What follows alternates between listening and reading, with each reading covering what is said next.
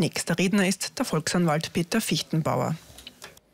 Sehr geehrter Herr Bundespräsident, sehr geehrter Bundesminister, sehr geehrte Herren Präsidenten der Höchstgerichte, sehr geehrte Frau Präsidentin des Rechnungshofes und jetzt habe ich sicher beim Vergessen, sehr geehrte Damen und Herren Festgäste.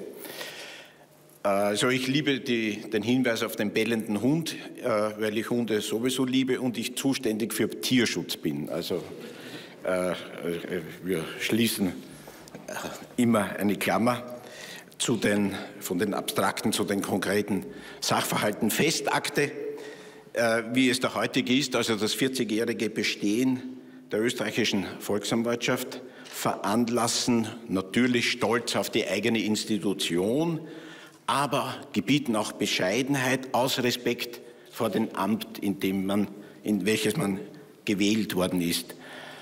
Äh, der Begriff oder für den Begriff der Bescheidenheit hat der heilige Bernhard von Clairvaux eine mich äußerst faszinierende Definition gefunden, nämlich Contemptio proprie excellentiae.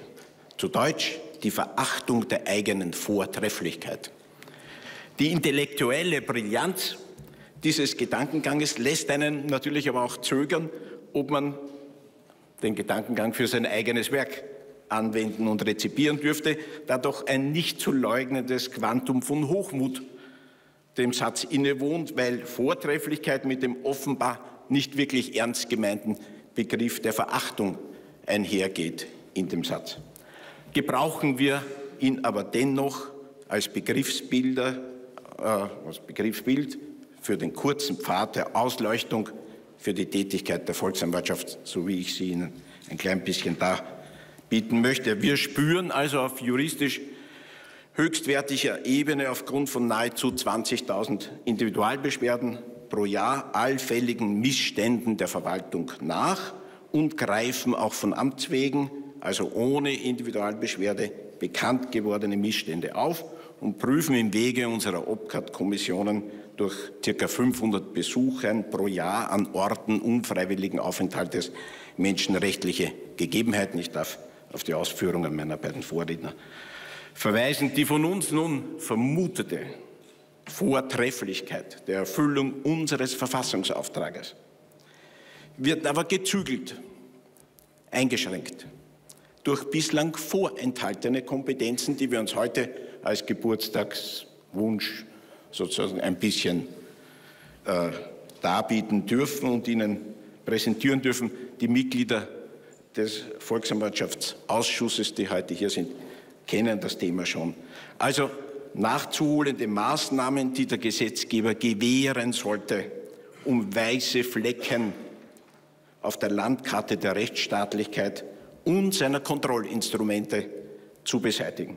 Ich darf drei Punkte herausnehmen, darf sie mit drei Punkten konfrontieren. Erstens, Thema der Polizeiausbildung. Ich beginne also mit diesem harmlosen Anliegen die unverzichtbare persönliche Präsenz des Rechtsstaates gegenüber den Bürgern ist die Polizei, die Sicherheit erzeugt und das staatliche Gewaltmonopol verkörpert. Aus vielfältigen Wahrnehmungen der Volksanwaltschaft hingegen ist festzuhalten, dass bislang in der Polizeiausbildung die Einrichtung der Volksanwaltschaft entweder überhaupt nicht dargeboten wird, unbekannt ist, oder nur äußerst rudimentär zur Kenntnis gebracht wird. Es ist aber festzuhalten, dass das Bundesministerium für Inneres erste Schritte in der Ausbildung auf Polizeiakademien nun begonnen hat und Mitglieder der Volksanwaltschaft als Vortragende eingeladen worden sind. Aber es ist kein wirklich unbescheidener Wunsch, dass das gesetzlich verankert wird. Das kann nicht sein, dass ein Polizist von den verfassungsmäßigen Instrumentarien des Landes teilweise keine Ahnung hat. Zweiter Punkt, Kompetenzerweiterung. Die Volksanwaltschaft ist, so wie der Rechnungshof, ein Instrument des Parlaments zwecks Kontrolle der Vollziehung. Große Teile der Vollziehung sind seit Jahrzehnten ausgegliedert in privatrechtliche Rechtsträger des Privat-, also Gesellschaftsrechts. Stichwort ÖBB, ASFINAG und andere. Wir würden von 150 ausgegliederten Rechtsträgern sprechen. Der Rechnungshof besitzt die Kompetenz zur Prüfung ausgegliederter Gesellschaften, an denen die öffentliche Hand zu mindestens 50 Prozent beteiligt ist, nicht aber die Volksanwaltschaft. Die damit verbundene Kontrolllücke ist evident und braucht nicht näher ausgeführt werden. Der bescheidene Geburtstagswunsch lautet, dass die Volksanwaltschaft gleichermaßen wie der Rechnungshof diese Kontrollkompetenz erhält. Das wäre ein sehr einfaches gesetzliches Ergebnis einer kurzen Gedankenanstrengung des Gesetzgebers. Äh, die Vorarbeiten sind schon geleistet. Es bedarf nur des Mutes. Heute wäre ein guter Tag, Neubeginn, habe ich gehört. Jetzt, Herr Bundespräsident, bei Ihnen kommt die Regierungsspitze und erzählt Ihnen, was sie Neues ausgedacht hat. Vielleicht könnte man das anhängen. Aber wir sind unbequem. Das Epitheton von Kreisky gilt uneingeschränkt. Unbequemlichkeit ist das Prinzip unseres Handelns. Aber zum ernsten, abschließenden Teil. Es handelt sich um chronisch kranke Kinder im Schulsystem. Wir dürfen bitte unsere Augen vor der Phänomenologie der chronisch kranken Kinder im Schulsystem nicht verschließen. In Kooperation mit dem Nationalratspräsidenten Ingenieur Hofer hat die Volksanwaltschaft im Jahr 2015 ein äußerst hochwertiges Symposium durchgeführt, in welchem die wesentlichen medizinischen und juristischen Belange analysiert worden sind. Es wurde dieses Büchlein produziert. Jeder der es wünscht, kann es haben. Es ist auch allen Parlamentariern übersendet worden. Wir sprechen von ca. 190.000 betroffenen Schulkindern, die also an chronisch kranken Erkrankungen leiden. Also das beginnt Diabetes, Epilepsie, Asthma etc. etc. Kann die ganze Krankenepistel gar nicht aufzählen. Die notwendigen Maßnahmen für die Absicherung der Kinder, der Eltern und der Lehrer sind bitte geboten und werden von uns wirklich eingemahnt. Detailausführungen sind mir aus Zeitgründen natürlich jetzt verwehrt, aber ich verweise nochmals auf die von mir vorgewiesene Schrift. Kurz zusammengefasst kann ich Ihnen aber einige Thesen äh, nicht vorenthalten und halte fest, Krankheitsbetroffen und leidbetroffen sind die Kinder, nicht die Lehrer. Belastungsbetroffen sind in abgestufter Gewichtung die Lehrer in den betroffenen Schulklassen. Uneingeschränkt belastungsbetroffen natürlich sind die Eltern.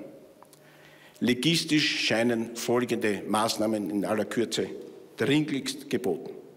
Erstens, Einführung von medizinischen Ausbildungsmodulen in den Lehrerakademien, pädagogischen Akademien, damit Grundsätze des Phänomens der jeweiligen Krankheiten kenntnismäßig vermittelt werden.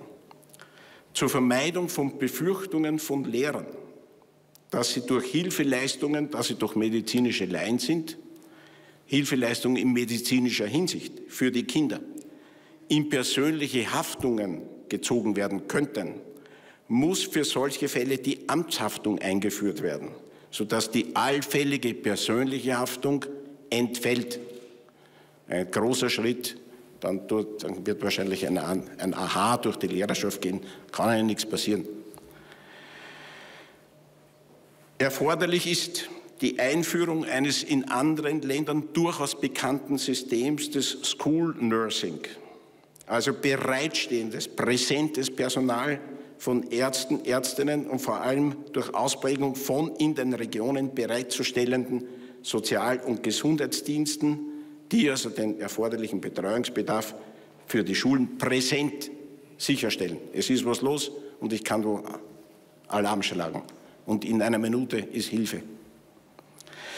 Ich bin mir sehr bewusst, dass ich hier über das Bohren harter Bretter gesprochen habe. Aber das Thema ist zu bedeutend, zu wichtig. Und wir können keine Sonntagsreden abfeiern, wo wir unseren Sozialstaat feiern und klammern dieses Phänomen aus. Das ist nicht akzeptabel. Zum Schluss. Unterschiedlich vom Satz des heiligen Bernhard von Clairvaux nehmen wir natürlich keine Vortrefflichkeit in Anspruch, sondern wir tun das Werk von Menschen für Menschen. Im Rahmen des österreichischen Verfassungssystems darf aber jedenfalls gewürdigt werden, dass durch die Schaffung der Volksanwaltschaft vor 40 Jahren einer trefflichen Ausgestaltung des demokratischen Prinzips Genüge getan worden ist, nämlich, dass es keinen kontrollfreien Raum in der Vollziehung der staatlichen Rechtsordnung gibt. Danke vielmals. Die Volksanwaltschaft sei ein Instrument des Parlaments zur Kontrolle, betont Volksanwalt Peter Fichtenbauer. Er wünsche sich zum Jubiläum mehr Kontrollkompetenz sowie der Rechnungshof.